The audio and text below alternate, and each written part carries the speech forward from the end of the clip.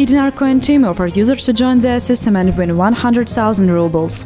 According to the social network, the winner will be announced on the 1st of November.